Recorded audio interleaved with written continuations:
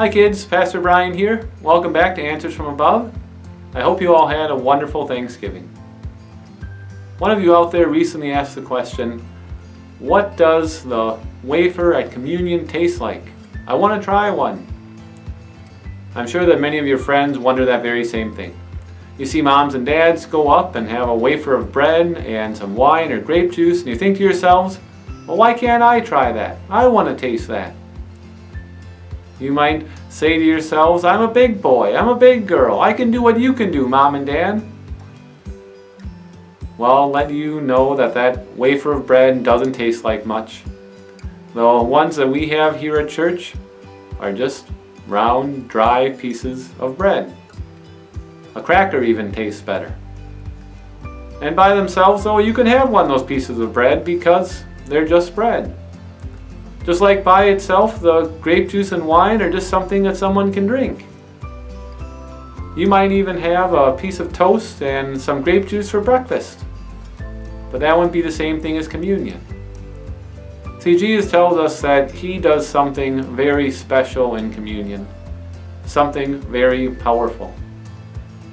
You may have noticed that before we have communion at church, we always say the same words, the words that Jesus spoke to His disciples the night before He died on the cross to take away the sins of everyone.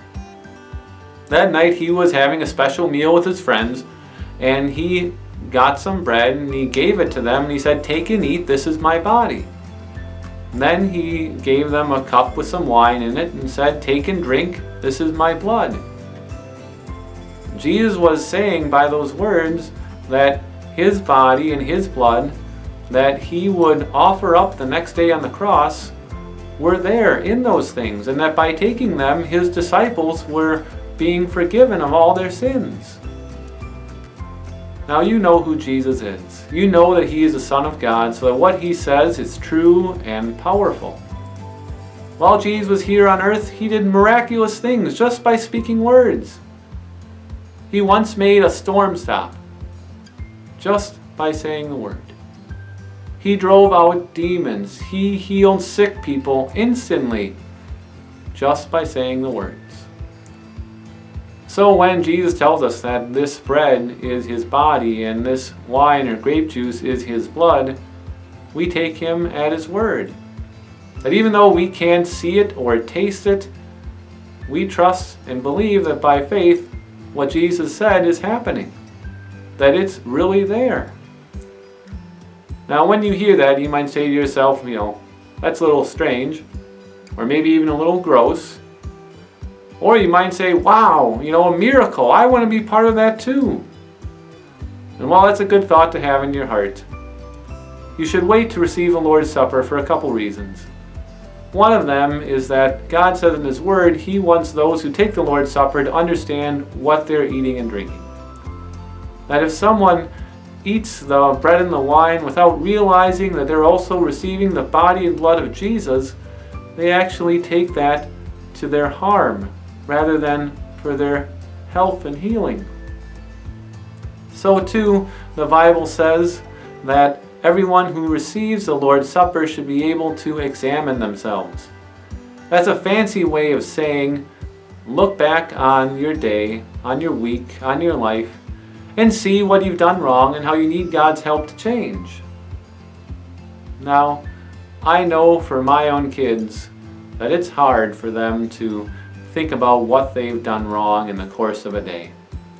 Sometimes at the end of the day when we say our prayers, we'll thank God for some things and tell Him sorry for other things. And sometimes when that happens, when they get to the sorry part, they get real quiet. And they'll say, Dad, I can't remember anything that I've done wrong today. Even though they had just been fighting with brother or sister over a video game five minutes before.